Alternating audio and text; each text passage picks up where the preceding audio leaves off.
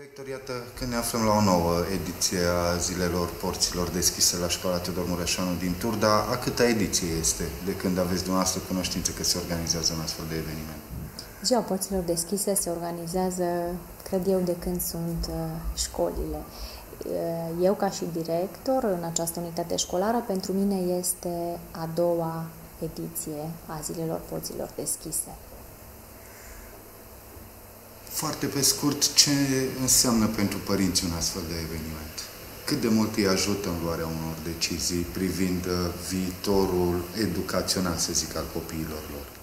Este, este foarte important ca părinții să fie informați uh, și să se documenteze pentru alegerea școlii, uh, la scrierea în clasa pregătitoare. Este foarte important deoarece prin ziua porților deschise Părinții pășesc cu viitorii școlărei în școala noastră, cunosc uh, viitoarele doamne profesor în învățământul primar, cunosc viitoarele săli de clasă, baza materială a școlii, iar un lucru este foarte, foarte important, le stăm la dispoziție să le răspundem la întrebări, deoarece au foarte multe întrebări cum ar fi, în ce perioadă este, se fac înscrierile, ce documente sunt necesare, cum este programa în clasa pregătitoare, care va fi sala de clasă, ce dotări are școala? Și atunci noi stăm în întâmpinarea acestor întrebări și le stăm la dispoziție. Plus de asta copiii nu stau foarte mult, o oră, o oră jumate uh, în școală, dar totuși se familiarizează cu uh, cu școala, iar um, este foarte important um, ca părinții să știe cum arată școala, ce dotări are. Este prima din cele două zile pe care le-ați organizat la școala Teodor Mureșanu. Da. Spre deosebire de anul trecut, numărul de clase pe care îl propuneți ca ofertă educațională s-a modificat, a crescut, a scăzut? Sau? În urma recensământului și pe baza elevilor înscriși la grădinițe, noi uh, pentru acest viitorul an școlar 2019-2020 vom avea trei clase pregătitoare. Fiecare clasă pregătitoare are 25 de locuri. Sigur că da, aceste locuri, uh, dacă vor fi cereri, se vor suplimenta. Dar viitorul an școlar are în, ne-am propus, pentru viitorul an școlar ne-am propus trei clase pregătitoare. Și suplimentarea, în cazul în care ea va exista în urma solicitărilor, să înțeleg că nu va duce la uh, apariția unei noi clase, ci mai degrabă la creșterea numărului de elevi per clasă. Da, în cazul în care vor fi solicitări, da, uh, cu acordul uh, inspectoratului școlar. Ce trebuie să știe părinții? Copiii vin în clasa 0, vor rămâne cu același cadru didactic până la finalizarea ciclului primar sau se schimbă doar în clasa 0 și ciclul 1-4 să fie alt cadru didactic? Nu, același cadru didactic este din clasa 0 până în clasa 4, aceeași doamnă profesor în învățământul primar. Ce, în două cuvinte, dacă puteți să ne spuneți, de ce ar alege părinții școala Teodor Mureșanu? În afară de, știu eu, domiciliu în zonă sau așa?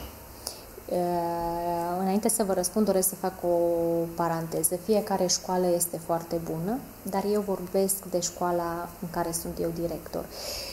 Eu consider, începând de la cadrele didactice care sunt de o bună calitate, au o pregătire foarte bună, baza materială, tehnologie, iar faptul că Sigur că da, și rezultatele școlii vorbesc uh, de la sine.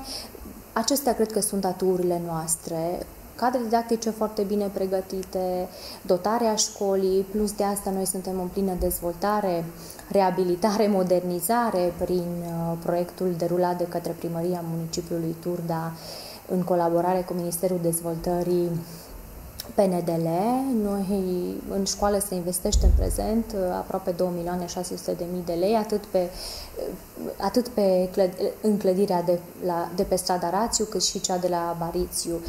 Sigur că da, ne, ne extinde pentru viitorul an școlar cu încă o sală de sport la clădirea de pe Rațiu, în afară de cea existentă, o sală de sport pentru clasele 0-4, de ultimă generație și acesta ar fi un plus, iar uh, școala este foarte spațioasă, începând de la clasele 5-8 cabinete, laboratoare foarte bine dotate.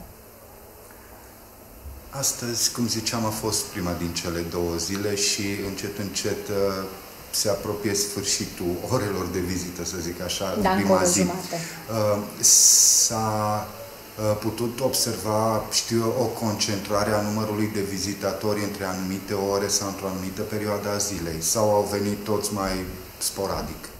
Nu, în prima parte, începând de la ora 12 și un sfert până pe la ora 13, au fost pot să zic grupuri, deoarece au ieșit copiii de la grădinițe, iar apoi sporadic, da. Câte două, trei familii sau chiar câte o familie au venit. Care au fost reacțiile părinților? Eu cred că de bucurie și plăcut surprinși, în momentul în care viitoarele doamne învățătoare i-au poftit în clase, au văzut mă rog, baloanele care pentru copii sunt o atracție destul de mare au fost foarte, foarte pozitivă. Faptul că ei au dorit să mai rămână, au început să scrie la tablă, inclusiv unii ne-au destănuit foarte multe despre ei, eu cred că a fost o reacție pozitivă și ne bucurăm foarte mult. Uh, acum înțeleg că fiind ziua porților deschise și adresându-vă noilor uh, școlari, că din clasa 0 deja pot fi numiți sigur, școlari. Sigur, uh, ei au fost impresionați de baloane și bombonele, dar nu știu, uh, probabil le-ați făcut cunoscut faptul că nu se întâmplă în fiecare zi să fie baloane și bombonele. Uh, le-am făcut cunoscut uh, acest aspect, dar le-am spus că noi vom încerca să le îndulcim uh, orele să fie plăcute.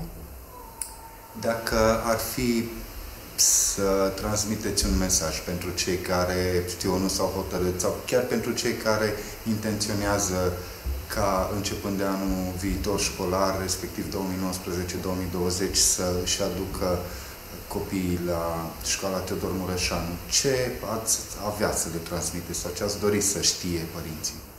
Primul rând, de școala gimnazială Teodor Mureșanu îi așteaptă cu brațele deschise și cu multă bucurie, să aibă încredere în viitoarele cadre didactice ale copiilor, iar uh, să nu uite că prima perioadă de înscriere este între 4 și 22 uh, martie, Actele necesare la înscriere nu sunt foarte multe, decât o copie de pe certificatul de naștere, a cărții de identitate, iar uh, în momentul în care copilul nu a împlinit uh, vârsta de 6 ani până în 1 septembrie și împlinește în perioada 1 septembrie 2019 31 decembrie 2019 trebuie să, să meargă la evaluarea psihosomatică în urma programării la grădinițele de care uh, aparțin.